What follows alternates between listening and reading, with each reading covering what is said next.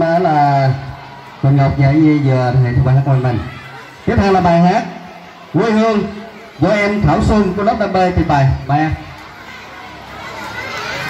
thầy Hiền ơi. Thầy Hiền.